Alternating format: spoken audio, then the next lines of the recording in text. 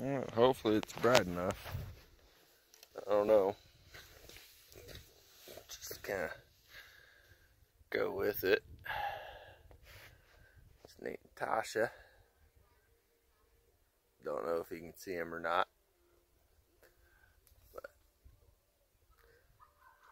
Gathering water. Yep.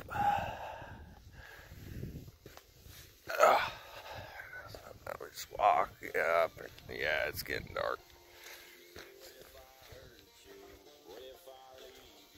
I don't know what's going on now. Yeah, it's dark. Well, it's bright over here apparently. There's fire.